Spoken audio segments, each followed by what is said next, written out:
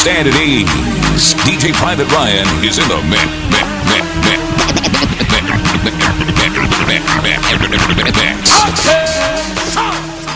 This is DJ Private Ryan. Big up UKSocaScene.com. Best website out there. Private Ryan says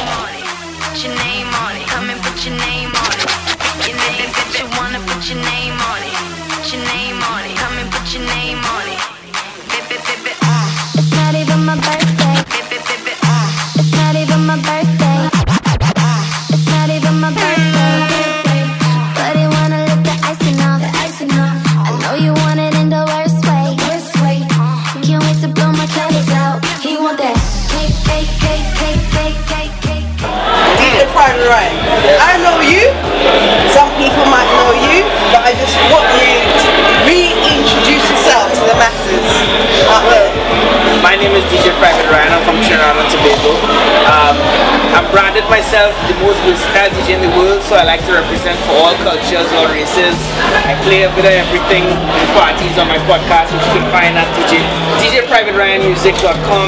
Just go on, take a listen, and you can hear everything that I've done so far. Okay, so uh, we know you as DJ Private Ryan. I know you. Your name is Private, but what I'm intrigued by is the Ryan bit because it adds a little bit of. You know what I mean? So, what, what what's behind that? What's behind Private Ryan? Yeah, what's behind the private? What drives you Private can say, yeah, so you can say Um, Ryan, but what's the private? Yeah. All right. Well, I, I grew up with a, in a musical background. Um, my father and I we used to play music together when I was young, like really young. Five years old, I was playing vinyl and learning old rockers and all those things.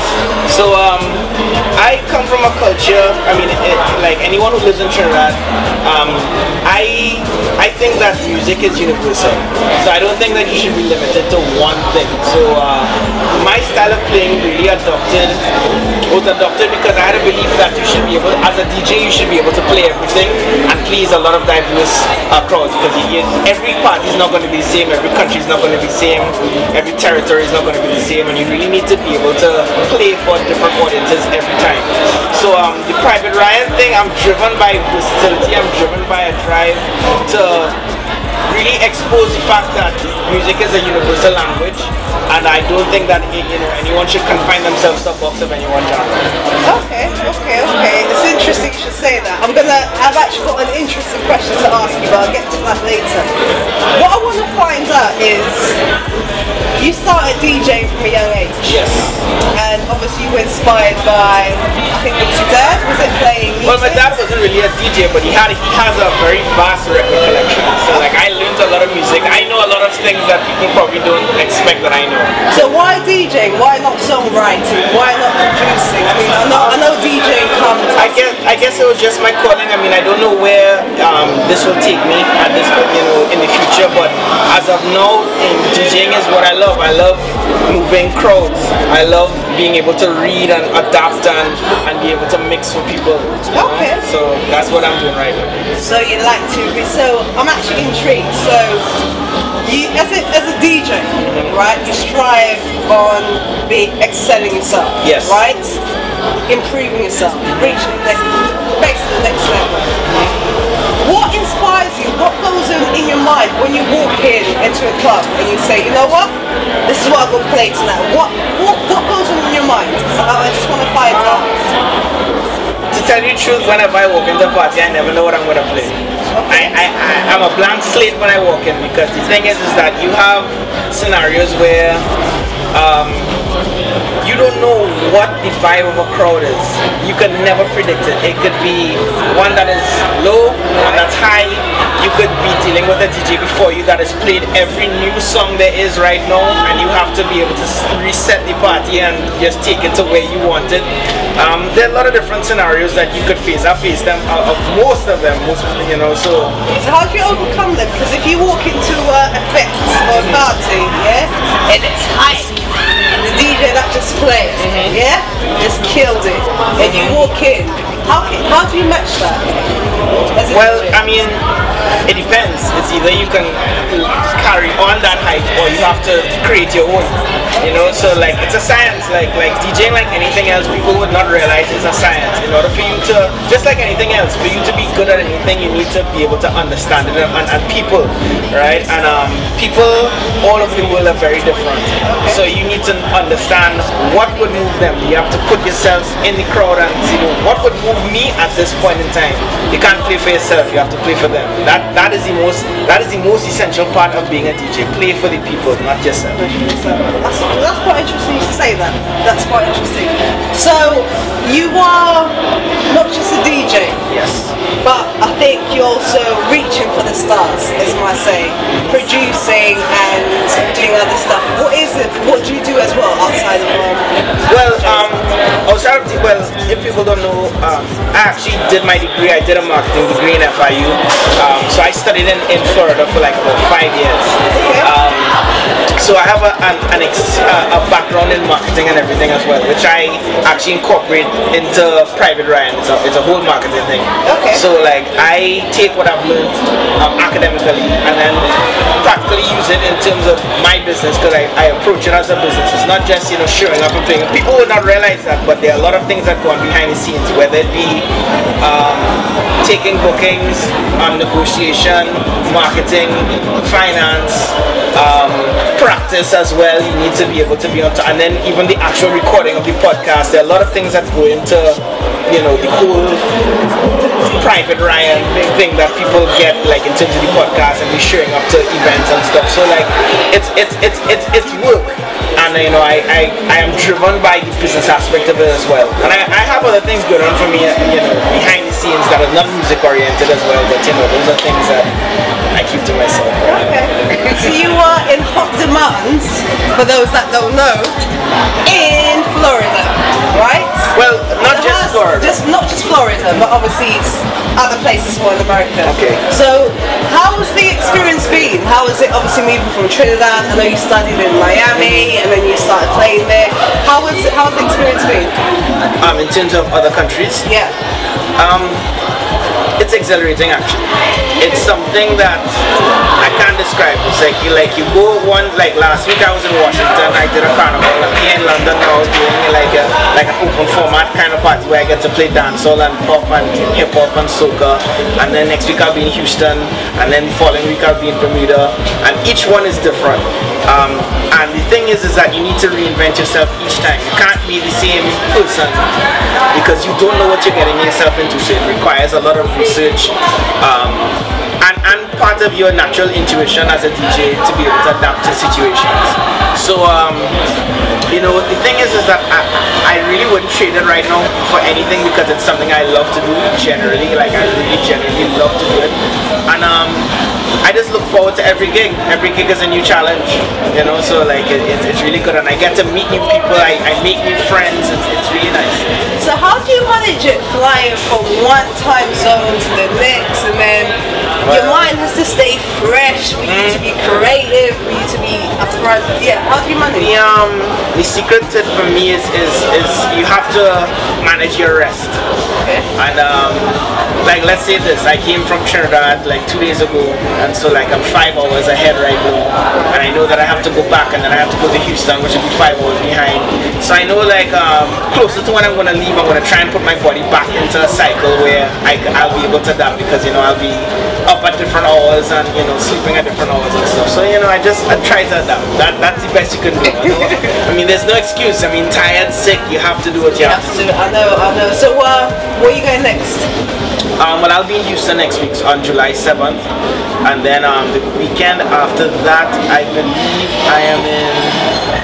Where am I? Bermuda. Right, yes, I'm in What's Bermuda. happening in Bermuda? Anything? They have a party called Fantasy Island.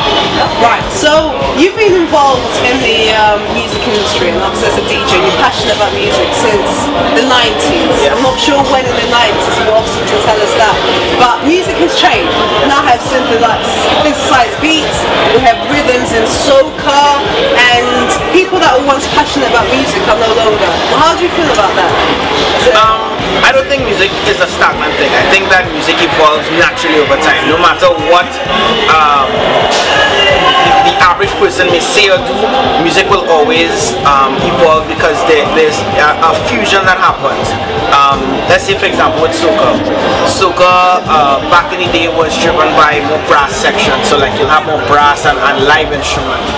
And um, then they, they evolved into soca. And then now you see a fusion with pop beats.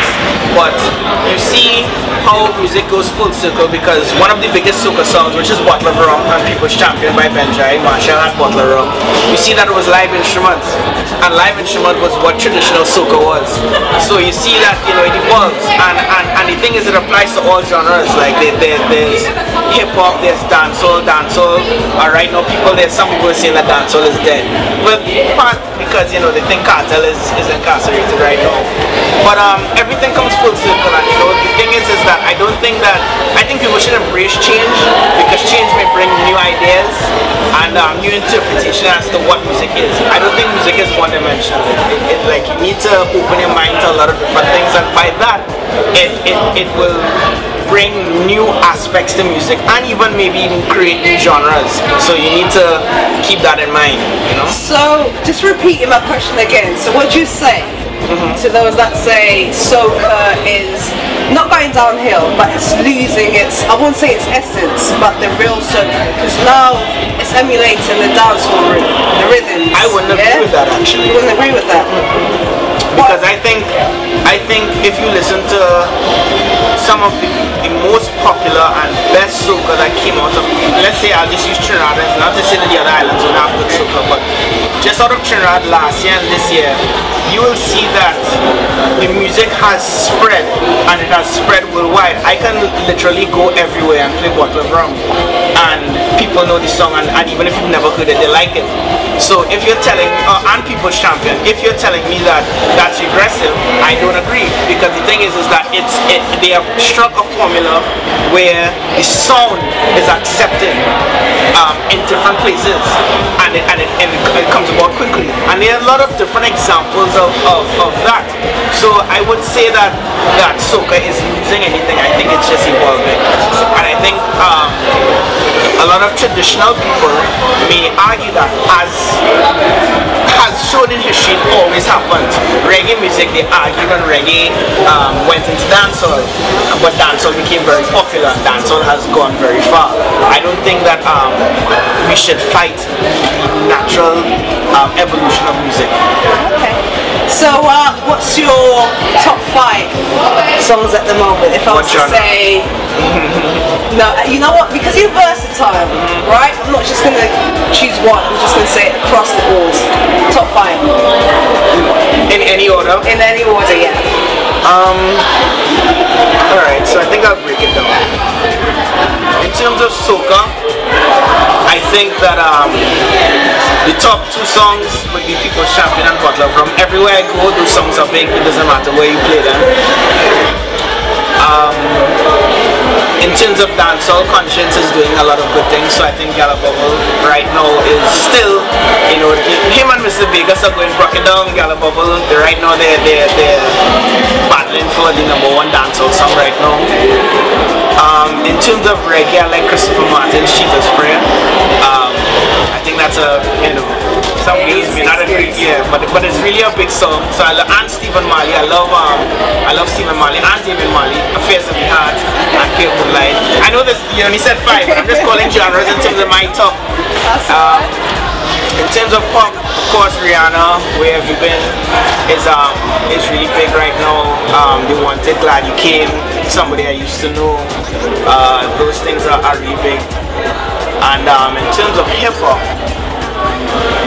um, what's my favorite song in hip hop?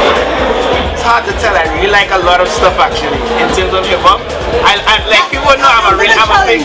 What, just give me one. right now, boy. Go on. There's one. I'm thinking of it. It's a song actually called Amen by Meek Mill. Meek Mill and Drake. I really like that song. I really like that song. So I just want you to give the masses out there kind of some advice mm-hmm. because you've been passionate about music since day one, Yes. right? You grew up around music. Some of us can encounter music at an older age. If I wanted to become a DJ, right? If I was interested in obviously bringing music to the masses, what advice would you give me? Um, DJing, I think you should always respect the traditional aspect of it. Um, DJing is not just about uh, getting a program and being able to put songs together. You have to understand the science behind putting the songs together in the first place. You have to understand um, old music to understand new music. You have to understand where the new music came from. A lot of them sample stuff from old music. Um, you have to understand creativity in terms of the flow of music and in terms of how to move a crowd. Uh, it's not just about putting two songs together that can mix. It's about two songs that tell a story.